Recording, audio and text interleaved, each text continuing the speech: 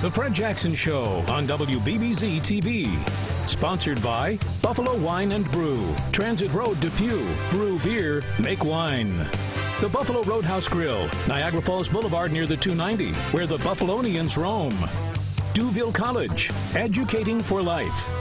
On the Rocks Liquor, Discount Liquors, Bailey Avenue, Buffalo. And Reimer Heating and Air Conditioning with the Wizard of Comfort and your hometown comfort professionals.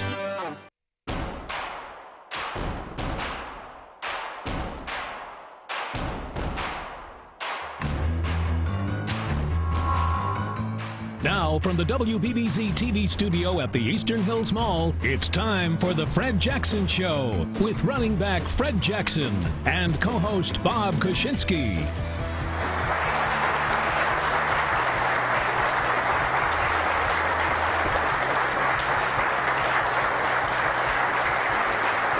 And good evening, ladies and gentlemen. Welcome to the final edition of this season's Fred Jackson Show, and of course, the star of our show, Mr. Fred Jackson. And tonight on the show, our very special guest from the Buffalo News, sports writer extraordinaire, Mr. Vic Carucci, is with us tonight. And as always, from 97 Rock, DJ Dave Jixter. Let's hear for Dave.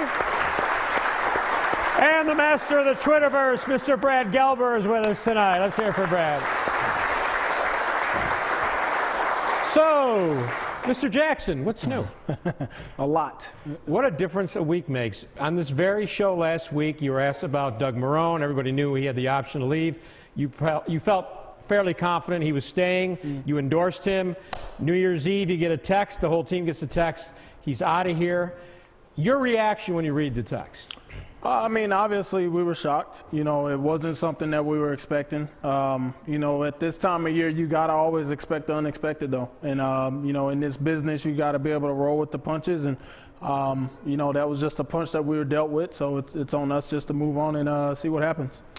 Uh, from some of the players, there seemed to be some bitterness, uh, maybe coming from the fact that Coach Marrone preached family, preached pride in the Bills, and he had an opportunity to leave and he left. Yeah, I mean, it's obviously when somebody you know chooses to walk away from something, that's I mean that's going to burn some bridges, you know, and uh, that's exactly what he did. You know, he made the choice to, to opt out, to move on, and uh, after everything that he talked about us going through, you know, being a family, I could see you know that that burning a lot of people you know and uh you know that that's just how it is now you know and you know we got to move on just like he did. With him not being here you know we can't focus on him. We got to focus on the next coach that comes in here that wants to be here and uh, do our job in uh, supporting him.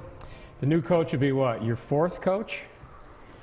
Fifth technically Fifth? yeah. So um, you know with the interim that we had in uh, Perry Fewell well that's yeah. true mm-hmm. yeah so, and so for a guy, you've been in the league for nine years. Mm.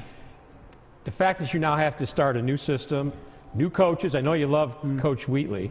Mm. Um, just part of the profession. It is. You know, I mean, it definitely gets old. You know, you you like you know uh, being around some familiar faces. You know, having a chance to play your career with a bunch of different people.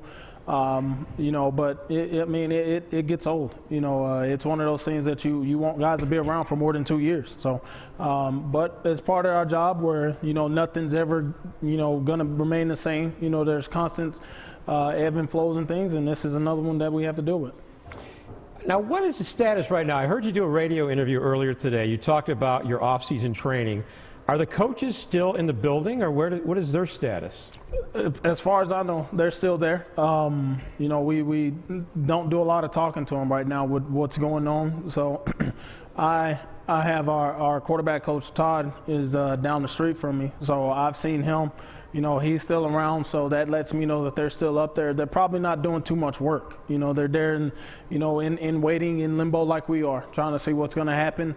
You know, obviously it affects them. You know, they have to see what they're going to be doing for a job. Whatever coaching changes may be, may take place, they have to see, you know, where they fit in that, if they fit in that, and where they have to, uh, you know, get ready to move to if they have to. There's over 10 coaches mentioned as possibilities, and they're being interviewed. I'm not going to ask you to name a specific coach, but looking at that list, do you have a preference? I mean, obviously, you want somebody to come in and uh, you know help us win. You know, that's all. All I want is somebody that's going to come in and you know get us over the top to win some games. And Um, you know, obviously, you like I said, you want some familiarity. You know, Coach Schwartz being Coach Schwartz being here last year, you know, I think would be a great fit for a lot of people. You know, he did a tremendous job with our defense, uh, and I think he could do a great job for us as a head coach. Um, but you know that that is a decision that we'll leave up to Pag- the Pegulas.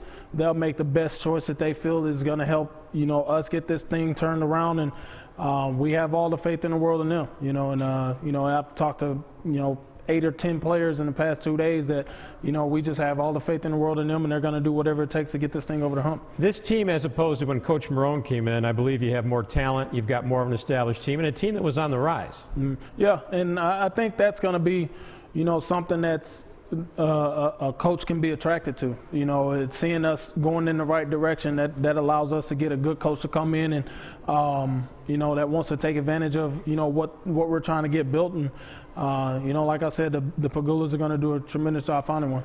Okay, when we come back, we'll have Vic Carucci. He's going to talk about what happened with the Bill Polian situation. I'm sure he's got an opinion on the coaches. Coming up next on the Fred Jackson Show right after this.